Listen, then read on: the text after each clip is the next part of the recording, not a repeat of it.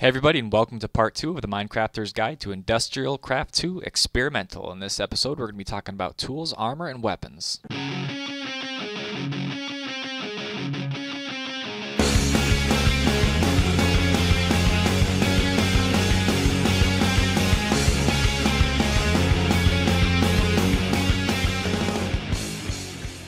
Alright, real quick before we get into this episode, I neglected to mention the solar panels that I had installed on the top of this original hut here. Um, solar panels are another way to uh, get some renewable energy, and these are just the very basic solar panels. We'll be talking about um, the more expensive ones a little bit later on, um, but solar panels will generate energy freely during the day as long as they have a clear path to the sky, and they will generate 1 EU per tick. If it's nighttime, this little sun will go away, and you won't be able to uh, generate any energy. Uh, one cool thing about the solar panels is that they will still operate even though you uh, put a cover over it. So if I look at that inside of there, it's still working. So you can actually hide your solar panels pretty cleverly in your base. Alright, before we get into some of the uh, weapons and uh, armor that we're going to be talking about, I just want to make it clear that the way to charge all of the um, pieces of armor that we are going to go over is just to throw them in one of the tiers of power storage. So for a bat box, you would just take your uh, item of choice, um, let's say uh, electric, electric jetpack, throw it up there, it'll drain some power out, recharge your item, and you can put it right back in your person using this little GUI right here. And all the different uh, power tier energy storage uh, blocks have that function. So that's how you can charge um, all of these items up. And there's also one more way that we'll talk about. All right, first we have uh, bronze. Um, set of armor, and this is a little bit better than uh, iron, so this is a good choice if you're looking for a little bit more protection. Um, a little bit more resources are involved, but uh, Good stuff. Next, we have a scuba helmet, which will allow you to breathe underwater, a hazmat suit, and a hazmat suit leggings, and this will protect protect you from uh, radiation poisoning, um, which we're going to find all about as soon as we start mining uh, uranium.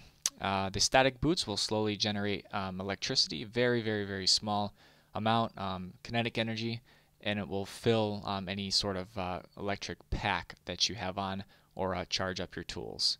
Eh, they're okay. They're not really that great. Um, next we have uh, the nano suit and the nano suit is uh, basically it's fairly easy to make as we learned uh, in the previous episode. It just takes some carbon plate and these things called energy crystals. Um, this one takes night vision goggles which is a little bit different um, than you're used to a little bit different recipe if you've made this before. Um, but the nano suit basically and the quantum suit use power to absorb damage. So if you um, land too hard on your shoes it'll absorb power from there. If you get hit or blown up um, by a creeper, it'll uh, drastically reduce the uh, power charge in each of your item pieces, and you'll have to keep going and uh, recharging your pieces to stay stay alive. If they have no charge, essentially, it doesn't really do anything. Um, this is a quantum suit, and this is really hardcore stuff. It's going to take some iridium plate to make this, and uh, some lapotron crystals, which we haven't learned about yet, but that's okay. Um, this is a really advanced, uh, the most advanced um, armor suit that Industrial Craft 2 provides, and uh, some cool benefits come along with this. Um, with the pieces, uh, including the helmet, I believe, lets you automatically uh, eat the cans of processed food, like we processed steak in episode one. It'll just automatically consume those as soon as your heart's or your uh, health bar gets low enough. Next, we have night vision goggles, which are fairly self-explanatory. If you put these on with a charge, um, they will allow you to see at nighttime. Um, the composite vest is uh, it's sort of like a diamond chest plate. It doesn't provide you as much uh, armor bars, but it will last a lot longer. I believe the diamond chest plate can absorb 512 um, or some odd number of damage points, while the composite vest can uh, withstand about 801, I believe. So uh, this is a little bit better in some respects to the diamond chest piece. And this will also protect you from the blast of a creeper if it's standing right next to you. You will not die if you have a composite vest on, even if you have no other armor equipped. Last but not least, we have the rubber boots, which will allow you to uh, fall from greater distances without losing too much health. So these are pretty cool if you don't uh, have any armor on or if you're climbing hills and going all over the place. Next, we have uh, basic bronze weapons, and we're missing the bronze hoe up top there. But these are just crafted in the same way that you would craft any other tool, and they're a little bit more durable than iron. Next, we have three different types of uh, battery packs here. We have the regular batpack, we have the advanced batpack, which I don't have in my inventory here. That's uh, this one right here, and the uh, energy pack. And you can see that this one's power tier 1. Actually, let's just go ahead and grab that last one. Du -du -du Electric jetpack. Advanced batpack, there we go. Okay, so we have a uh, power tier 1, Power Tier 2, and Power Tier 3.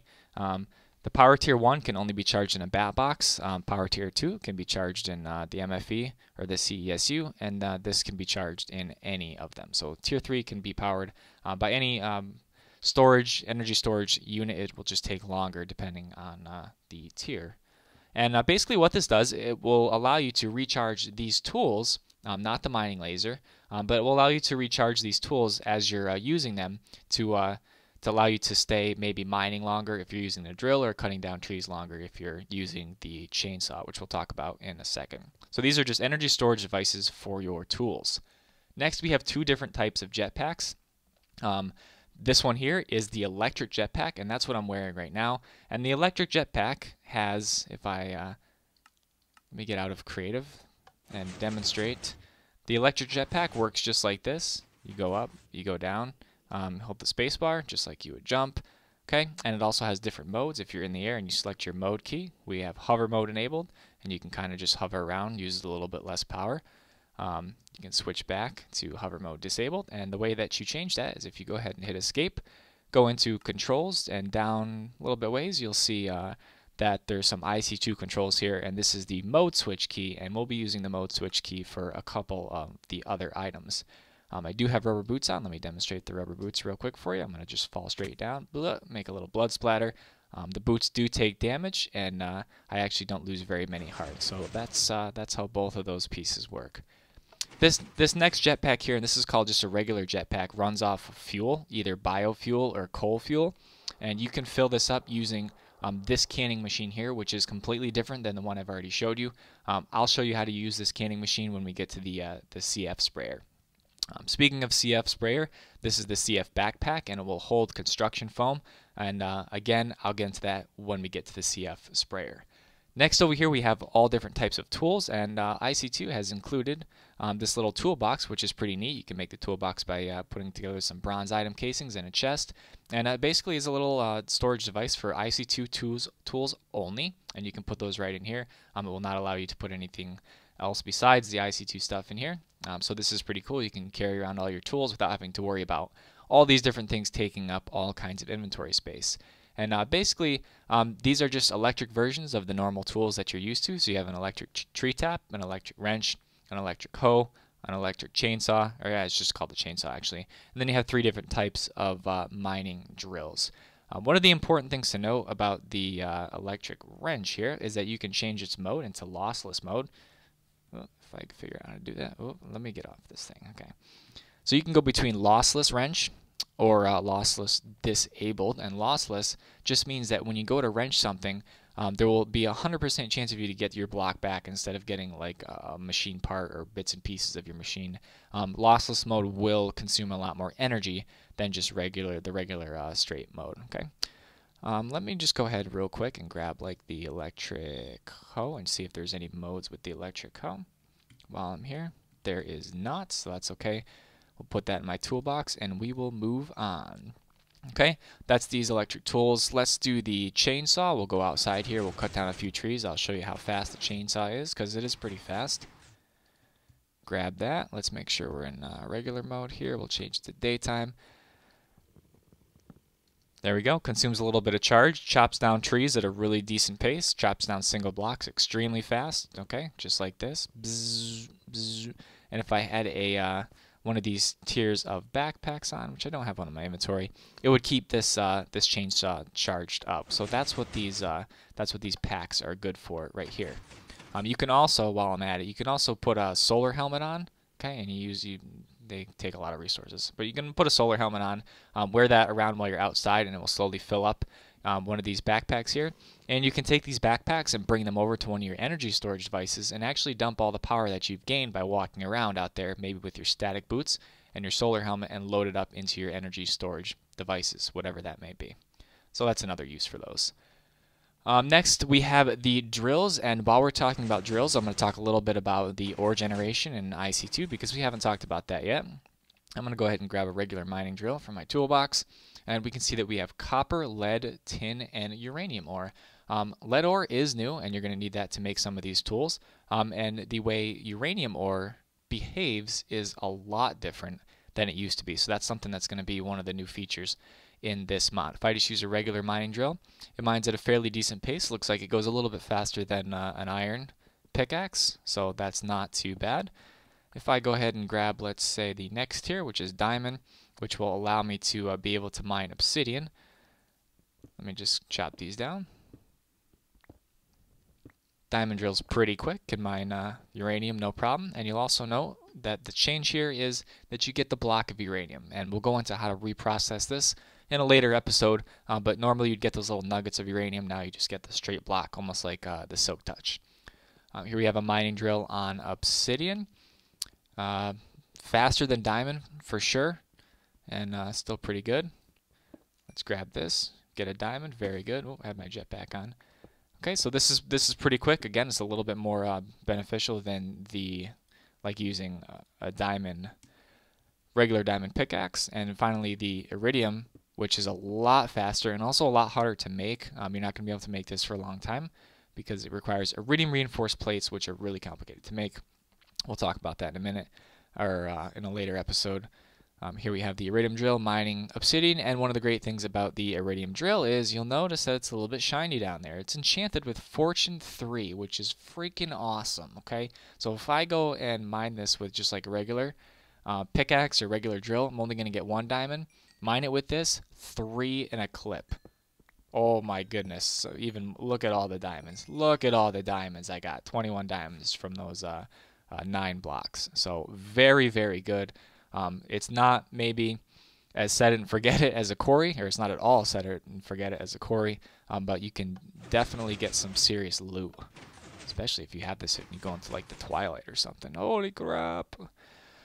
All right, um, while we're here, um, the small power unit and the regular power unit are going to be the uh, components in a lot of the tools that uh, we just went over here. Um, so that's important. Um, Oh, the jetpack. Yeah, you're going to need uh, these fuel cans. That's what these fuel cans are for. You're going to need to uh, fill up a fuel can in your canning machine to fuel up this jetpack. Before I forget, okay, let's move on. The Nano Saber, which is uh, which is pretty awesome. I'm going to go ahead and change it to easy. We're going to go outside. We're going to spawn a uh, zombie pigman, and we're going to hit it with the Nano Saber. Okay, Nano Saber.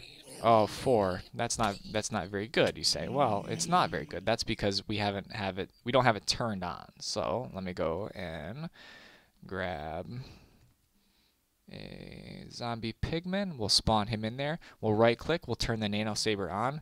Um, doesn't have any mode, so don't worry about that. We'll turn it on. We'll go ahead and hit this guy and blam, 19 damage. Uh, the nano saber hits for. Um, it's going to cost you a lot of power, so you got to keep it off when you're not using it but the Nano Saber is a very powerful sword. Let me get him a pressure plate here. All right. I'm going to do the mining laser last because it's the most awesome, um, right next to the CF sprayer, which is the second most awesome. Okay, so as I told you before, we're going to learn how to use this uh, canning machine real quick. This is a lot more complicated interface than uh, what we're used to with most of the IC2 machines, and there's a couple new machines um, that have an interface that looks like this. But in order to uh, fill up your CF backpack, which I have up here, and you see it has uh, seven, there's 600, good grief, 6,700 millibuckets of construction foam, and my construction foam gun, which is in my toolbox, and I'll pull that out there has 7,600, okay?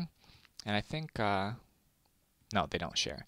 Anyways, go ahead and make this canning machine. The recipe to make this is a little bit different. Um, set it to the mode just like this, fluid and enriched, tanker cell. Um, you're going to make this CF powder, which is uh, some stone dust and uh, some clay and sand. You're going to put that inside the center of the canning machine. Make sure it has power and also make sure it has uh, water. So you're going to fill up water on this side and then you can go ahead and put your uh, construction foam sprayer over here. And you can see that uh, can we please stay over there? Oh it's full. It's full. It can't hold anymore. Get the backpack. Okay we're gonna put the backpack up here. And uh, you can see it just emptied out the entire contents of that and it's filling up the construction foam backpack. So very good. That's how the canning machine works. You're going to use this in a lot of other uh, um, things you can change this to canning. So you have the um, fuel rods, uranium cells, and so on and so forth here. You can can meat just like with the other machine. Um, you can uh, take or fill from uh, all, all, different types of settings, and we'll talk about that as needed. Um, in the interest of time, let's go out here and test out this CF sprayer because it is awesome. Whoops. Let's go ahead and grab it. Um, CF backpack can be equipped just like this. You can put it on your person right back there. Very good. I'm not going to keep it on there. And uh, the sprayer has a few different modes. So we have normal mode and single mode. And this will take some of that CF that's in your backpack and it will spray it on the ground. Bloop, just like that. Um, initially, you'll be able to walk through this stuff. It won't really be like a real block, but over time, it's actually going to harden up. And uh, if I go ahead and grab some sand, you can uh, manually or instantly harden it up by right clicking it with some sand, and it will look like that when it's through. And then, furthermore, we can take those painters that we used like uh, from the last episode and uh, you can go ahead and color construction foam. So that's a really, uh, really neat function of this stuff. You can see that you can color all different colors. And uh, the other great thing about CF foam is that uh, you can actually cover your wires just like this, okay? And the wire still extends through there, so if I remove that, you can still see that, that the wire is there. If I, uh, oops, if I go ahead and put another one down, just a little bit finicky. There we go. You got to click right on it. Okay, and I attach something there. You can see that the wire goes through here. So it's a really good way to like hide the wiring um, inside your setups. If I grab a Luminator, which uh, Luminator is a light source that IC2 has, it will consume 0.25 EU per tick. And this is a nice way to uh, light up, have your illuminators kind of hidden from the world, and you can attach them right directly to a pipe like that, or you can attach them to CF foam and keep them lit up without anybody knowing where the power is coming from.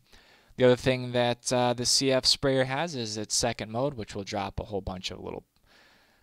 Let me just make a hole, okay? And you can spray CF foam and fill up little areas just like that, or you can drop a blob on the floor. Okay, so that's the CF sprayer. You can't launch it or anything like that, unfortunately. Uh, very good. Finally, we'll talk about the, and I can't believe I've done this without pausing at all. That's pretty amazing if I have to say myself. We're going to grab the mining laser, and I almost crashed the world last time I used a mining laser because I went totally overboard with it. Um, this will have a ton of different, um, oh my goodness gracious, that's why I almost crashed the world, is because I just it just causes total havoc. Um, this is uh, scatter shot mode, and uh, that's where I, I had a big problem. You can mine like hundreds and hundreds and hundreds of blocks with this thing extremely quickly. You can just pound your way straight down to bed bedrock. Um, with the mining laser, um, the more shots fired, or depending on the setting that you have your mining laser set to, it will consume more or less power. So let's look at some of the modes. We have explosive, which is pretty cool. Bam, very destructive. Watch out when you're doing uh, stuff in your base with that. We have mining mode, and mining mode just works like this. So if you're just uh, going underground, you get to like level 15 where you know those diamonds are, and mine it up. Okay, very good. So let's get out of here. Um, next we have low focus, which is low range. We have long range, which is long range. Will consume more energy. And we have uh, oh, horizontal, kind of fires in a flat, um, fires a bunch in a flat uh, horizontal line. Um, superheat is pretty cool. You can uh, superheat items. Um, you can even even turn uh, sand. You can kind of like smelt stuff on the spot. It's pretty cool. Pretty cool. Just like that. Okay, superheat. Um, and I think that's all the modes. Uh, we're back to scatter, which I don't want to do again. And I believe that is everything in this entire episode. Um, hopefully, there's nothing I missed. If there is something I'll miss or I missed, then I will talk about it in the next episode, which is going to be about uh, transformers, power conversion. We're going to talk about the different types of wires, how much they can carry, and how not to uh, blow up your base. Thank you guys for watching this tutorial. Make sure you subscribe, give the video a thumbs up if you like it, and check out all of our social media outlets listed here. And as always, guys, stay poised.